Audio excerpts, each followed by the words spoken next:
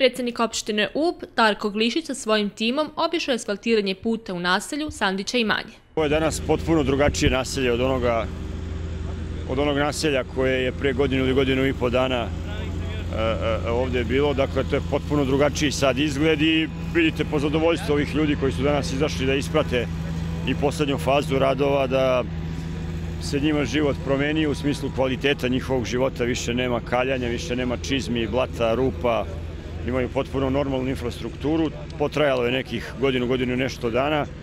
Kada smo to rekli pre godinu dana da ćemo u dve ili tri faze da, da završimo posao, mnogi su rekli, e pa dobro, oni to sad samo malo započnu, pa daju obećanje i neće nastaviti to do, taj posao do kraja. Međutim, mi kao i u Pambukovicu i na mnogim drugim mestima smo neke velike probleme koje drugi nisu mogli decenijama da reše, rešavali tako što smo ih podelili u nekoliko etapa i onda smo uspevali da ih dovedemo do kraja. I ovo je najbolji dokaz, baš kao što je bio i na nekim drugim mestima, da, da uspevamo. Oni koji nam kažu da to možda nije dobro, nisu uspeli ni da počnu tu prvu fazu, niti da nađu način da ovo realizuju, a mi smo uspeli da nađemo načine kako da ovo isfinansiramo sredstvima ovo konkretno sredstvima elektroprivrede Srbije, nešto drugo smo sredstvima puteva Srbije ili nekog drugog ministarstva do čijeg fonda smo uspeli da dođemo kroz konkurse i zahvaljujući projektima koje smo imali. I evo, kao što ste i navikli prethodnih godina i ove godine kao i prethodne i svih drugih do poslednjeg onog dana kad vreme dozvoljava,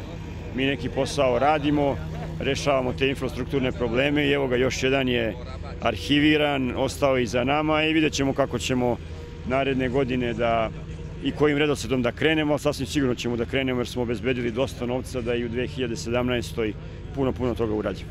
U Svincima će biti poslednja etapa, trebala je da bude ovde poslednja etapa, ali zbog imovinsko-pravnih odnosa gore je ostalo da se nešto kasnije to, to završi i onda ćemo staviti tačku. Samo se nadam da će vreme dozvoliti da gore možemo te radove da izvedemo do kraja. Vrlo nam je bitno da ih u ovoj godini završimo da ih ne prebacujemo za narednu godinu zato što bi nam to dosta pokvarilo neke planove jer bi značilo da trošimo novac od budžeta za 2017. godinu. Mi hoćemo da taj novac koji smo predvideli za 2017. godinu trošimo u onom iznosu kojem smo zamislili. A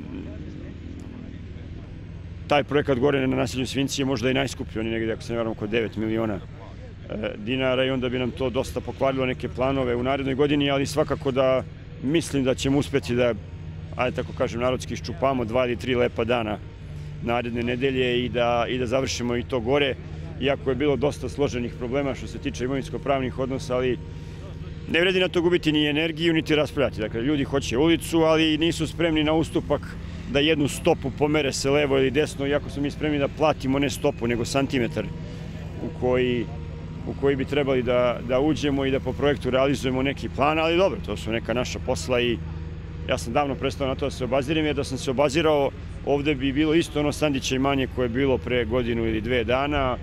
Na naselju Svinci bi bio potpuno isti ambijent kao što je bio pre godinu ili dve dana i mnogi drugi putevi i ulice i sokaci koje smo asfaltirali bi izgledali isto da smo se mnogo obazirali na, na neke stvari koje su kod nas karakteristika za naš narod i šta da radimo. Dakle, gurate napred, imate svoj cilj, idete napred i onda kad dođete do rezultata, onda je zadovoljstvo zaista potpuno, jer kad vidite ljude da su srećni i da, i da jednostavno uživaju u, u novom ambijentu svojih naselja, onda morate vi da budete srećni jer ste zbog njih sve to i radili. Ovde se svakako podigla i cena svakog stambenog objekta pojedinačno.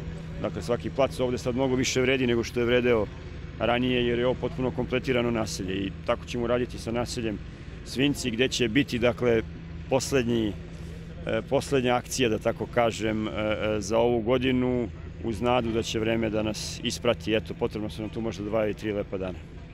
Konačno je došao to jedan dan, jedan vrlo srećan dan da smo dobili jednu savremenu saobraćajnicu i ovom prilikom bi stvarno podvukao i više puta se zahvalio opštinskom rukovodstvu, a posebno predsjedniku opštine koji je ispunio sad svoja obećanja od pre godinu dana i uspeo da uradi ovoliko naselje koje je ličilo na jedno, eh, jednu kaljugu i imamo jedno savremeno eh, naselje gde možemo normalno da živimo.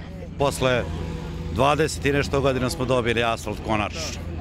Inače, odlično je urađeno, nadam se da će uraditi i trotoare ovih dana i krajnje vreme da ovaj deo Uba koji je relativno blizu centra grada, pazite ovde je 300 metara do, do, do parka, a ne da obilazimo oko Kišokog Kragujevca i da stalno budemo kaljavi, prljavi i ostalo. I plus što smo imali problem poplava, ovde tri puta je ulazila voda u sve ovo, ovo nacelje, ovo komplet. Nadam se da sad više to neće se dešavati, a sve što se uradi je odlično, posebno ovaj asfalt. Bio sam ovih dana, svaki dan tu video sam da je dosta kvalitetno urađeno i nadam se, i trebalo bi, da sve što se radi, se radi kvalitetno, a ne ono bez veze, ajde da zakrpimo malo rupe i to je to.